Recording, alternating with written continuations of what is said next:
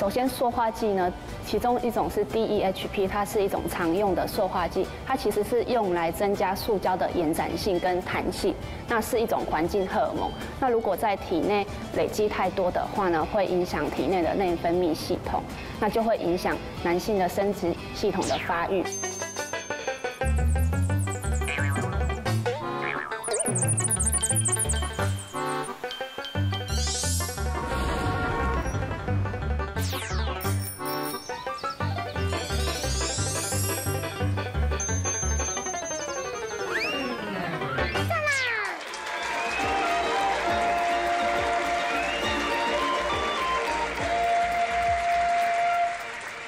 欢迎收看《核心协力救地球》。大家好，我是刘尔金。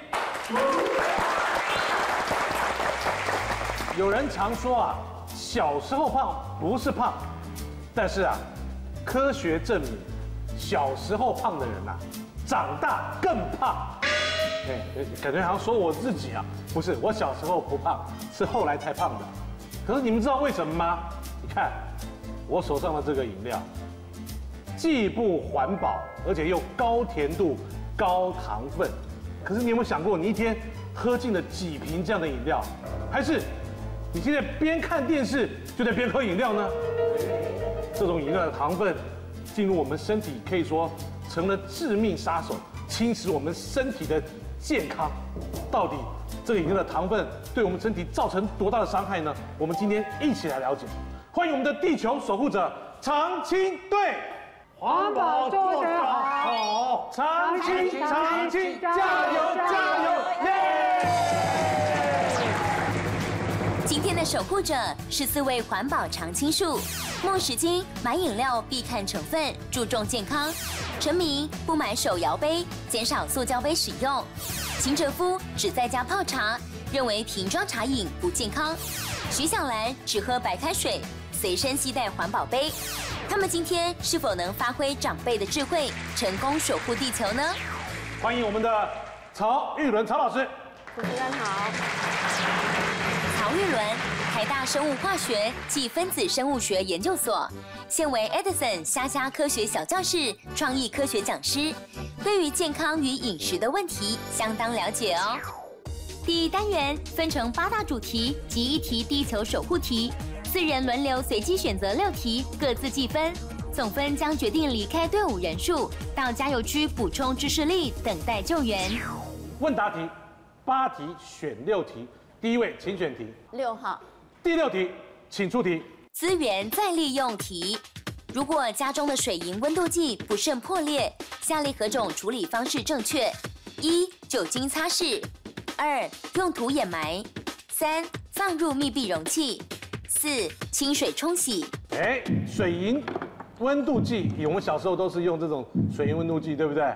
要怎么样来保存？如果破掉的话，请作答。好，好，这题答案是什么？请解答。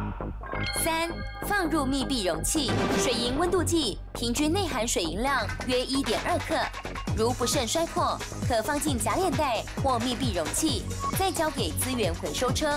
避免产生高度铺路的危险。好，第二位请选题，选几号？三号。好，第三题请出题。环境污染题：二零一四年，台湾哪条河川的上游因职场排放废水，导致河中的鳗苗窒息死亡？一大甲溪，二林子溪，三观音溪，四浊水溪。嗯，是哪一个溪呢？哪一条溪会有排职场很多排放废水？来，请作答。好，一一四四。好，请问这里答案是什么？请解答。一大甲溪，大甲溪上游职场长期偷排放纸浆废水，水质遭受污染，许多鳗苗因而窒息死亡，造成生态危机。好，第三位北北，请选题。第二题。好，第二题，请出题。地球科学题。中国云南省拥有许多风景名胜，但因气候变迁，导致哪一座山脉的冰原地逐渐消失？一哀牢山，二梅里雪山，三苍山，四玉龙雪山。嗯，是哪一座山？当然会冰的话，应该会有雪喽，对不对？来，请作答。好，这一答案是什么？来，请解答。四玉龙雪山，中国云南省玉龙雪山白水一号冰原因气候暖化导致积雪融化，从一九八二年至今已融化两百五十一公尺。来，第四位，请选题。五号。五号，第五题，请出题。环境新闻题：西欧哪个国家肥胖问题最严重？平均每四人就有一人过重。一、法国；二、英国；三、比利时；四、荷兰。请作答。好，答案是一一二一，是哪一国呢？好，这题答案是什么？请解答。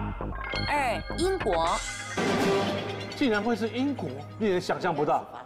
哎，我们问一下专家好了，怎么会是英国呢？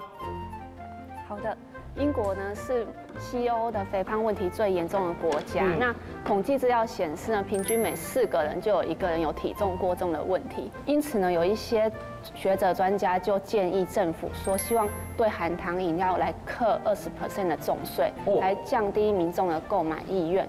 好，谢谢老师，谢谢。剩下两题，把握机会。好，阿姨，请选题，几号？一号。第一题，请出题。低碳城市题。二零一零年，上海世博西班牙馆的建筑外观是利用何种环保建材打造而成？可减少钢筋水泥的使用。一、竹藤；二、木头；三、废纸；四、玻璃。哎，是用哪一种材料？制成的呢？来，请作答，请解答。一竹藤，西班牙馆外观的藤板共有八千五百二十四块，用钢丝斜向固定，如鱼鳞般附着在钢骨管架上，而因藤条水煮过，让颜色产生深浅的变化。好，最后一题，第七，第七题，请出题。绿色科技题。此图为美国某家音响公司所生产的号角型喇叭扬声器，喇叭部分是利用棉絮及何种废弃物制作，以减少传统材料的使用。一、报纸；二、塑胶袋；三、保特瓶；四、玻璃。这个是用除了这个棉棉絮，还有什么东西？来，请作答。好，这题的答案是什么？请解答。一报纸，号角型喇叭扬声器不仅视觉上有趣，喇叭部分更是由再生报纸和干衣机里过滤的棉絮制作而成，减少了金属及塑胶的使用，对环境更友善。马上看一下长青队的总分是多少？一分、两分、三分、四分，可以留下一位。加加加加，五分，再再六分，再来，加油，七分，再一分，再加油，八分可以留下两位，加加加，九分，再多再多，十分，再来，再来，再再再再，十分，十分，只有十分，加油加油加油可以留下两位。我们来看一下你们个别的得分是多少。第一位得到两分，第二位得到三分，第三位得到四分，第四位得到一分。所以我们一号跟四号，哎呀，两位阿姨，请进入加油区。长青队在第一单元问答题中表现中规中矩，得到十分。很可惜，有两位队员要先行到加油区补充知识力，而留下的两位队员面对接下来的二三单元，能否顺利得到地球先生帮忙的机会呢？让我们一起为他们加油吧！是的，在我肩膀上的就是地球先生了。接下来呢，我们要进行地球先生题。如果你们答对这题的话，你们就可以有地球先生。这个地球先生题很重要，一定要答对，好吗？好，地球先生题，请出题。地球先生题：有些不健康的饮料为增加风味及延长保存期限，会添加人工化学剂。请问何种人工化学剂不可使用于饮料中？一、柠檬酸；二、塑化剂；三、醋黄内酯甲；四、起云剂。来，两位，两位知道是什么吗？石金阿姨说四，另外一位说二，有二有四，不能讲话哦。好，请放下，请放下。他们两位一个说二，一个说四，你们两个讨论一下，是二还是四？是。请作答。在最后一刻，我们陈明北北放下了手中的事，举起了二号的牌子。不知道这个决定是对的还是不对的？地球先生题，请解答。二塑化剂。答对啦！哎呀，这个开的对。啊，对对对，我地球先生要从我肩膀爬到你们这边来啦。哦，恭喜答对，两位继续留在守护区，带着地球先生。可是刚刚这说到这个塑化剂啊，到底对我们人体会有什么影响呢？还是问一下我们曹老师。呃，首先塑化剂呢，其中一种是 DEHP，它是一种常用的塑化剂，它其实是用来增加塑胶的延展性跟弹性，那是一种环境荷尔蒙。那如果在体内累积太多的话呢，会影响体内的内分泌系统。那就会影响男性的生殖系统的发育。哎呦，那在女性呢，可能会造成女童的性早熟。好，谢谢老师。好，有惊无险。哎，两位呢继续留在我们守护区，还带着地球先生，对不对？好，马上进入我们的影片题，请看 VCR。夏天到了，气温升高。这时候来杯清凉解渴的饮料是许多人的最爱。不过这些含果糖的饮料可是痛风找上门的原因之一哦。很多人喝一些含糖饮料的时候，他本身会忘记，其实身体最健康、最基本的需求就是是所谓的水分。那你水分减少，身体我们的一个像是小便部分的排泄量减少。尿酸留在体内的一个浓度当然就会上升。医师表示，市售含糖饮料像是果菜汁、柳橙汁，蔬果纤维含量低，而且含有高果糖玉米糖浆，喝多了不只会肥胖，更可能导致体内尿酸增加，而尿酸形成的眼晶体沉积在关节内，就会引发痛风，严重时连走路都有困难。另外，像是快速不正确的减重方式。也会诱发痛风。其实很多人减掉，譬如说像我们是进食，那很多时候就会变成身体有脱水的一个情况。那身体脱水，其实尿酸浓度就会上升。要远离痛风，最好摄取天然蔬果，取代果汁。平常也要多补充水分，避免饮酒或暴饮暴食。好，影片题第一题，请出题。市售含糖饮料，喝多了不只会肥胖，还会导致体内何种物质增加。啊，知道啊，来写。用写书法的感觉来写这个答案，看你看就知道你是会写书法的。好，北北写了两个字，是什么？尿酸。尿酸，请问他们答对了吗？恭喜答对，拍拍手，拍手，哎。好，我们来看一下解答第七啊。含有高果糖玉米糖浆，喝多了不只会肥胖，更可能导致体内尿酸增加。影片题，第二题，请出题。影片中表示，尿酸形成的眼晶体沉积在关节内，会引发何种症状？尿酸过高会怎么样？哦哦哦哦哦，两位阿姨都在比膝盖啊，这个比划也是非常的感觉不错。你写两个字，又是两个字，答案是痛风。痛风，请问他们答对了吗？恭喜又答对了。好，好，我们来看一下。解答第七啊，而尿酸形成的眼睛体沉积在关节内，就会引发痛风。哎，恭喜恭喜，两题都答对了啊！我们常看到包装上的玉米糖浆，对我们人体有什么样的影响呢？哎，曹老师。好的，呃，玉米果糖呢，其实可以说是一种慢性毒素。慢性毒素。对。因为有研究显示呢，每人每公斤的体重如果摄取三公克的话，换句话说，如果是一个五十公斤的成人，那他每天摄取一百五十公克的玉米果糖，那连续吃六天的话呢，他的三酸甘甘油脂就会上升。那如果再连续吃到五周以上，那他的呃体内的总胆固醇跟低密度的胆固醇也会增加。那还有研究指出呢，如果连续吃十周以上的话呢，呃，内脏脂肪的油的含量会增加，容易导致脂肪肝的形成。那一百五十克玉米果糖呢，大概是等于一杯五百 CC 的半糖奶茶。玉米果糖在肝脏代谢之后啊，会呃尿酸会增加，接着呢间接就会导致痛风。哦，好，我们都知道啦，谢谢老师。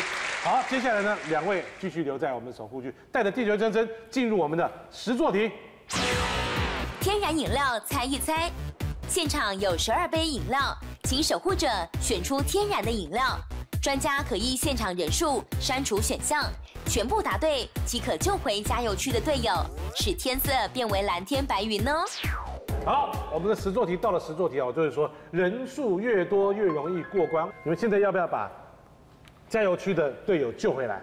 要要要使用地救救谁救谁？救我救我救我！哦，这个石金阿姨是吧？好，使用地球先生把石金阿姨救回我们的守护区。来，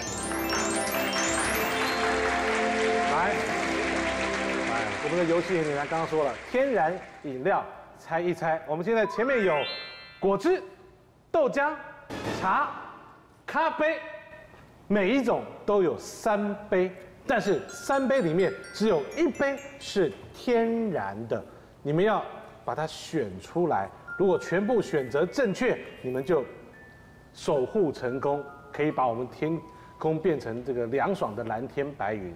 陈明，北北负责什么饮料？果汁，好，请试喝，请试喝。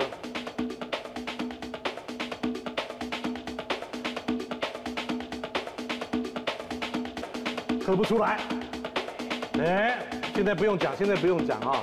还有第二杯，嗯，第二杯，刚刚啊，在这个录影之前呐、北北说这个啊果汁啊，我看颜色就能分辨出来啊，我才不相信呢，这么厉害啊！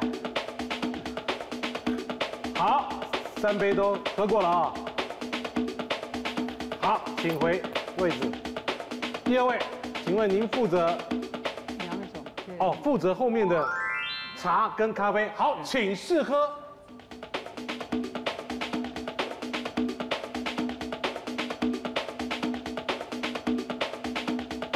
嗯，哎，嗯，我看不清楚，我看不懂他的表情到底是是还是不是。第二杯，哎，嗯，两两种的表情很相似。第三杯有点头也有摇头，第三杯的感觉怎么样？哎，哦，然后点点头，哎，我，很厉害哦。好，换咖啡，请试喝。老手，看起来就是饮料高手啦。